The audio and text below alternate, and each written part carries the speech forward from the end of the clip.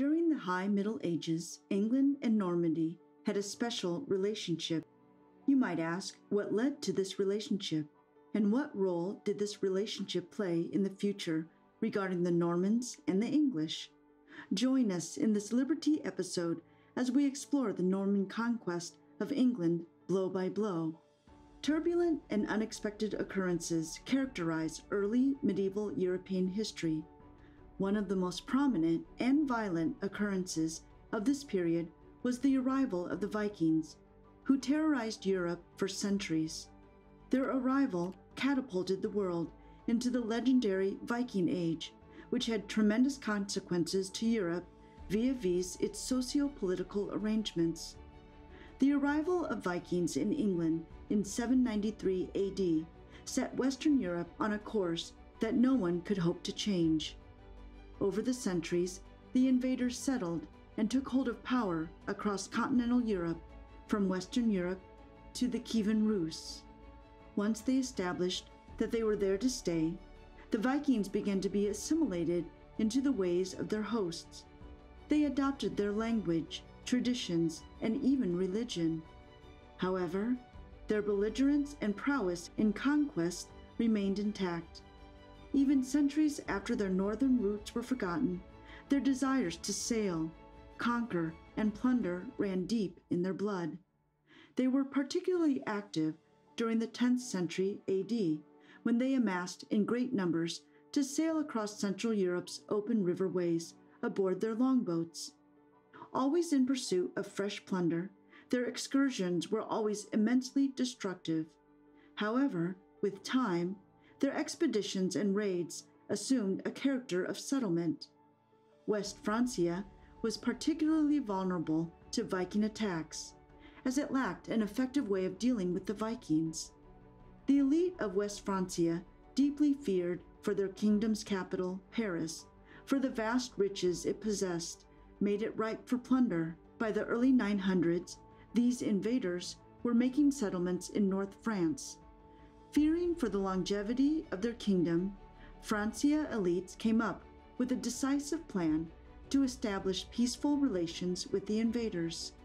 In 911 CE, King Charles III of Francia established the Duchy of Normandy through the Treaty of St. Clair sur Epte.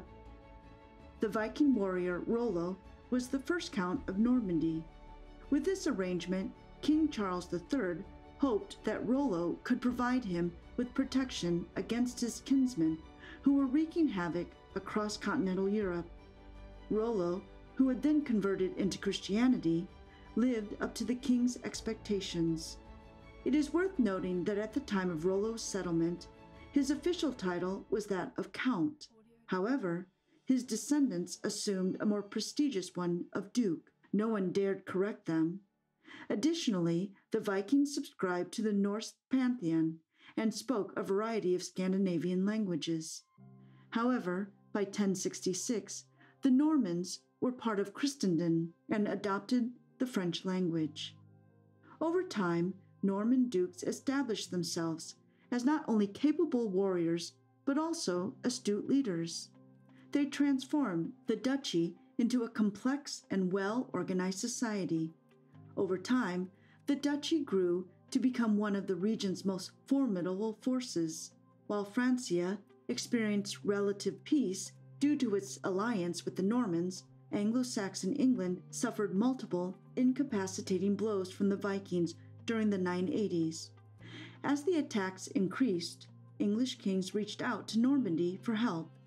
In 991, the English king Athelred, in a bid to strengthen ties with the Normans, married the daughter of the Duke of Normandy.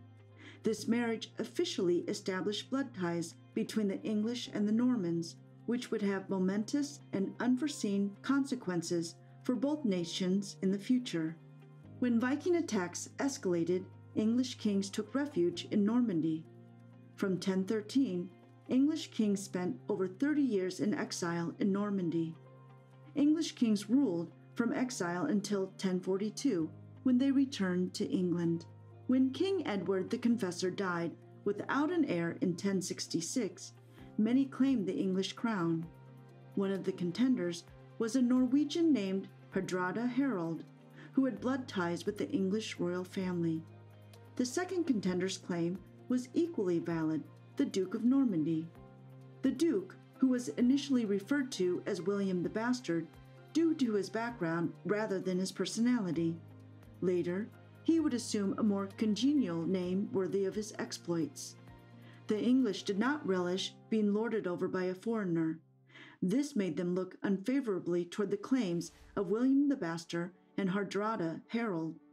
As a matter of public interest, the Anglo Saxon aristocracy elected Harold Godwinson as their king, paving the way for the Battle of Hastings and the Battle of Stamford Bridge. After his election as king, Harold prepared feverishly against a Norman or Norwegian attack, as Harold, Hardrada, and William the Bastard were eager to make good their claims. In 1066, together with their forces, Harold Godwinson and Hardrada Harold clashed in the north at the Battle of Stamford Bridge. The result of this battle was an English victory. The English victory was Pyrrhic, as it left the Anglo Saxon forces terribly weak. No sooner had the Anglo Saxons finished burying their dead, news of a Norman invasion in the south arrived. It is said, on the day a monkey is destined to die, all trees in the jungle are slippery. The ensuing battle would change the fate of England forever. Despite the fall of Anglo Saxon rule, the Norman conquest of England proved to be a blessing in disguise.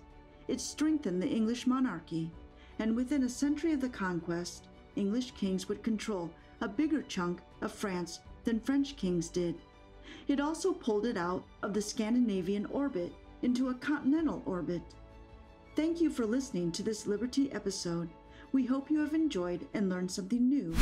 Like, share, and subscribe to Liber-Tea for more.